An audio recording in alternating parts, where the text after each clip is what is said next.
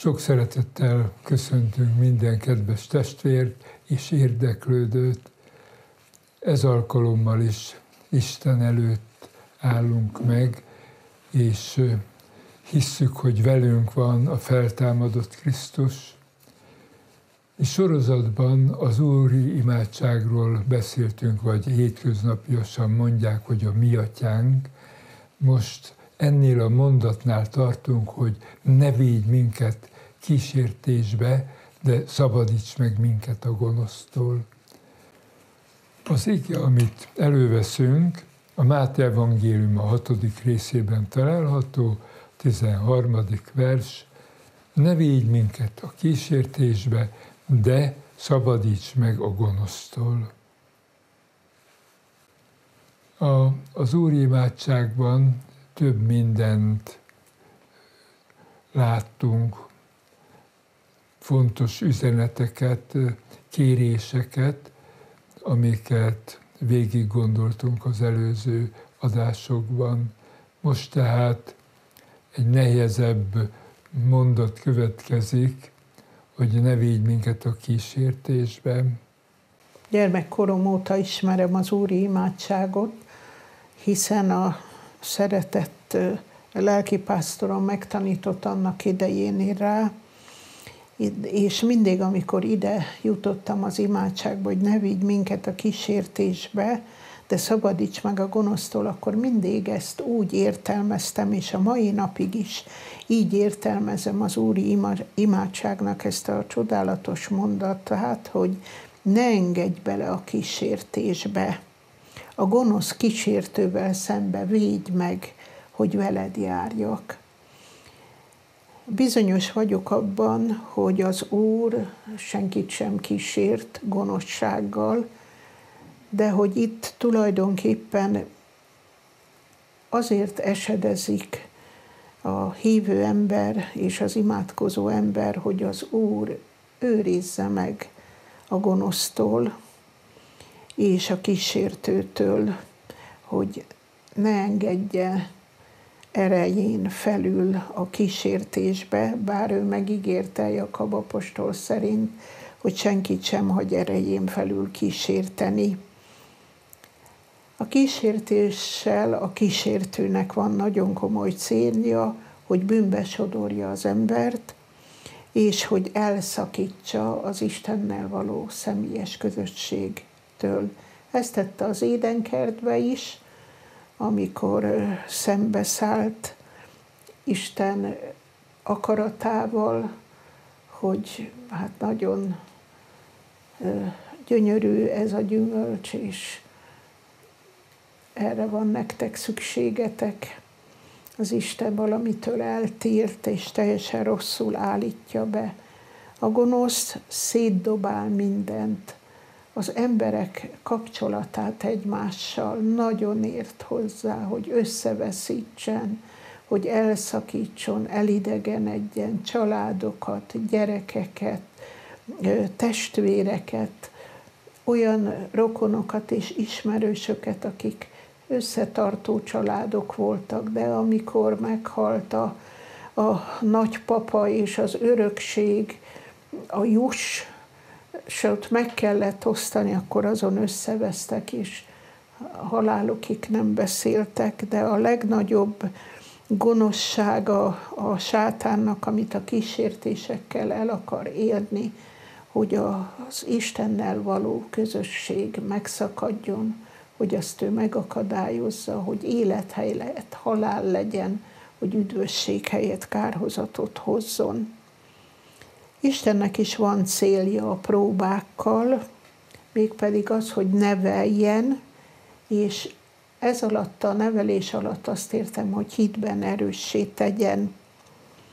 A próbák időszaka alatt, ha megharcoljuk és megküzdünk, akkor nagyon nagy lelki fejlődésen mehetünk keresztül.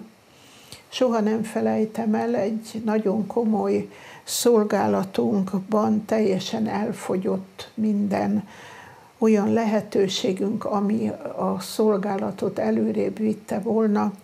Rengeteg sok vendéget láttunk el, és minden elfogyott, és akkor megjelent egy ember, aki soha nem láttunk, soha nem ismertünk, ez még az elmúlt rendszerben volt, és azt mondta, hogy én nagyon sok pénzt tudok a rendelkezésetekre bocsájtani, olyan támogatókat, akik minden szükségletét ennek a szolgálatnak, amit végeztek, ellátja, de egy dolog a feltétele, hogy lemondtok arról, hogy a karizmatikus dolgokat hirdessétek. Bár igen nagy szükségbe voltunk, de férjemmel egymásra néztük, és tudtuk azt, hogy ez nem az Úr, hanem egy kísértő, és tulajdonképpen meg se érintett, mert az, amire az Úr elhívott, az ő szent lelkének a közösségét semmiért nem adtuk volna oda legfőképpen nem pénzért. Annak idején Júdást is megkísértette az ördög, meg is szállta, amikor a kísértésnek helyet adott a 30 ezüst pénzért, amin ő gondolta, hogy majd vesz egy kis telket magának, és elárulta Jézust. Nagyon sokféle kísértés van, amivel a kísértő bennünket megkísért, és ennek mindnek egy célja van, hogy elszakítson Istentől, hogy belesodorjon a mélységbe, a kárhozatba, és onnan aztán már nincs visszaút, ahogy Júdásnak sem volt visszaút a veszedelem fiának, és ugye az a telek sem lett az életének áldására.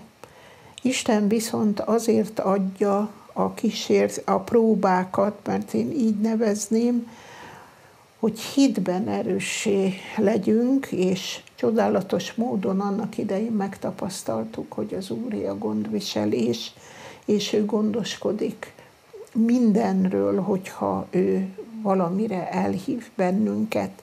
Jakab apostol ezt írja, teljes örömnek tartsátok, atyám fiai, amikor különféle kísértésekbe estek, tudván, hogy a ti hiteteknek megpróbáltatása kitartás szerez, a kitartásban pedig tökéletes cselekedet legyen, hogy tökéletesek és éppek legyetek minden fogyatkozás nélkül. Micsoda fejlődés, és mennyire más lelkület, nem a hasznomat nézem, hanem örömnek tartom, ha kísértésben esem.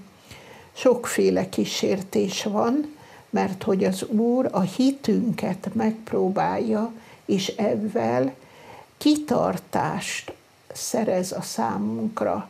A kitartó ember nem csak elkezd valamit, hanem véghez is visz. És ez azért nagyon fontos, mert amit lélekbe kezdtünk el, azt lélekbe kell befejeznünk. Nagyon sokan, amit lélekbe kezdtek el, Pestben fejezik be, mert nincs meg a kitartás. Az Úr azt mondja, hogy aki kitartó, az tökéletesen tud cselekedni, és hogy a kitartásban legyen tökéletes a cselekedet, hogy éppek legyünk minden fogyatkozás nélkül. Az az ember, aki nem próbáltatik meg, aki nem visel terheket, az nem tud növekedni. Van egy ilyen közmondás, hogy teher alatt nő a pálma. Aki nem próbáltatik meg, az nem ö, tud kitartóvá lenni a hitben, az üldöztetések során, a szenvedések során kitartani Krisztus mellett, az Urat követni, mert az sátán, mint ordító oroszlán szerte jár és keresi, hogy kit nyeljen el. Keresi azokat a gyenge hívő embereket, akikben nincs kitartás, akiket be lehet nyelni, akiket szét lehet tépni, akiket el lehet tántorítani a széles útra, a keskeny útról. Amikor a keresztény gyülekezet létrejött, akkor nagyon sok üldöztetésben, támadásban, próbában volt részük, szétszélettek az atyafiak, és az egész világon hirdették az evangéliumot. Soha nem jutott volna el az evangélium a pogány világba, akár Afrikába, akár pedig ugye Európába, Ázsiába, nem akarom az összes földrészt felsorolni, ha nem lett volna ez a megpróbáltatás, az élőhitű, szentlélekkel betöltött keresztény gyülekezetbe, akik kitartóak voltak, hűségesek maradtak az Úrral való közösségbe, és nem tudta a gonosz szétdobálni őket, mert a hívő emberek akár merre mentek, mindenütt gyülekezeteket hoztak létre, és nem sikerült a gonosznak szétdobálni őket. A támadásokban, a megpróbáltatásban kitartunk, akkor gyümölcső termő lesz az életünk, és teljes örömünk lesz. Nem lehorgasztó depresszióval fogunk ö, járni. Ha a kísértésbe beleegyezel a gonosz csábításába, akkor a bűncsapdájába jutsz. A gonosz állandóan ólálkodik az ember után, mert birtokba akarja venni az egész életét. És ez egy nagyon komoly dolog. Nem lehet beleegyezni, hanem a, ellene kell állni a gonosznak, és elfut tőletek. Nagyon csodálatos dolog, hogy ehhez az Úr adja az ő lelkének az erejét, és mindig annyi erőt ad, hogy a gonosznak ellene tudjunk állni. A kísértő a bűnre sarkal. Hatni próbál ránk, hogy engedjünk a kísértéseknek, mert ő a sátán ártani akar. Péter apostol ezt írja, ellenségetek a sátán ordító oroszlán módjára ott kószál mindenütt, és keresi, hogy kit nyeljen el. Erősen álljatok neki ellene a hitbe. Nem csak rémüldözni kell a gonosztól, fel kell ismerni az ordító oroszlánt, hogy ott kószál.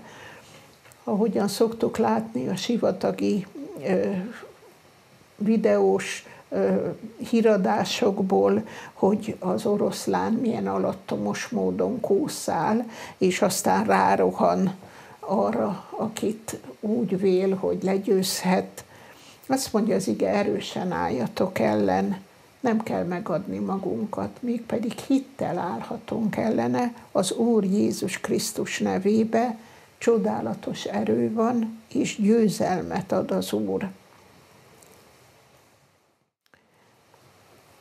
A kísértés sokszor az ember szívébe van, mondja az ige, hogy kísérti a saját tulajdon szívének a kívánsága. A megtisztult szív azért fontos, mert akkor a saját szívünk kísértése nem tud erőt venni rajtunk. Magunkba hordozunk a bűnre való hajlandóságot, és minden napjainkban átéljük a kísértéseket és a próbákat. A belülről elindult kísértést meg kell tagadni, nem kell vele közösséget vállalni. És akkor az Úr ad győzelmet. Sose felejtem el, amikor kisgyermek voltam, engem a szüleim, különösen az édesanyám mindig a, a becsületre, a tisztességre és az adott szóra nevelt, hogy föl kell vállalni, ha az ember rosszat tett, és hogy szembe kell nézni az embernek a hibáival, a bűneivel, és akkor le tudja azokat győzni. A gyerekek voltak olyan osztálytársaim, akik nagyon csalafinták voltak, és próbáltak a boltból akkor ilyen ABC-nek nevezett boltok voltak, rágógumit, csokoládét elcsenni. és mondtam, hogy én be nem megyek veletek, én ott nem leszek, és megdöbbenve láttam, hogy sikerült neki, kiszaladtak, és ott volt a zsebükbe is, elővették, és éreztem azt, hogy én nekem ezekhez semmi közöm nincs, és nem is szívesen barátkoztak velem, mert más voltam, mint ők, hogy kitett mássá, hát a szívembe lakozó Jézus Krisztus, akihez én nagyon hűséges akartam lenni, és ő mindig segített.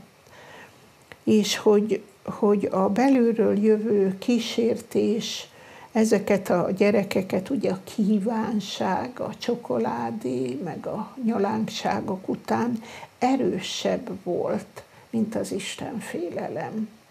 Ne vigy a kísértésbe, de szabadíts meg a gonosztól. Nagyon fontos, hogy a szívünkbe ott legyen az Isten félelem, hogy az Isten igéjéhez szabjuk az életünket, hogy ne embereknek legyünk a játékszere, hogy aztán a gonosz befaljon bennünket.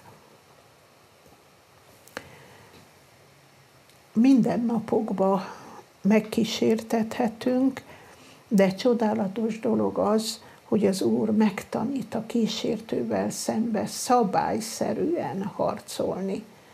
Jézust is megkísértette a gonosz, és Jézus szabályszerűen harcolt. Ha leborulva imádsz engem, ez az egész világ, minden, ami benne van, gazdagságával együtt a tiéd lesz. Jézus pedig szabályszerűen harcolt, és azt mondta, távozz tőlem, sátán, mert meg van írva, az Urat, a te Istenedet imád, és csak néki szolgálj. A győzelemnek, a kísértésben való győzelemnek az egyik titka ez, amit Jézus mondott, hogy őt imád, és csak néki szolgálj. Azokat, akik Krisztust imádják, és az őt szolgálják az életükkel, a hétköznapjaikba, bármilyen egyszerűen is, hogy azok győzel, győznek a kísértő fölött. Jézustól eltávozott a kísértő. És aki Krisztussal szoros kapcsolatban van, és felveszi a harcot a kísértéssel és a kísértővel szembe, az győztes. És megerősödik. A próbák a javunkra vannak, nem kell rettegni ezektől, és nagyon gyönyörű az, amit Pálapostól, aki sok próbán keresztül ment, és igen hiteles emberré vált, írta a levelébe a Róma belieknek, kiszakíthat el minket Krisztus szeretetétől nyomorúság, vagy szorongattatás, vagy üldözés, vagy éjség, vagy mezítelenség, vagy veszedelem, vagy fegyver, de mindezekbe felettébb diadalmaskodunk azáltal, aki szeretett minket. Ugye itt ebben a rövid eh, ige versben benne van a földi élet összes nyomorúsága, a testi nyomorúság, a mesztelenség, az éjség, benne van a lelki szorongattatás, az üldözés, a Krisztus sért való szenvedés, a veszedelem, a fegyver, de felettébb diadalmaskodni lehet Krisztus által, aki szeretett minket, aki legyőzte a halált, aki legyőzte a bűnt, legyőzte a gonoszt, és aki életet ad mindenkinek, aki elfogadja a kegyelmét, amit ő a Golgotai kereszten, kereszt halálával szerzett nekünk.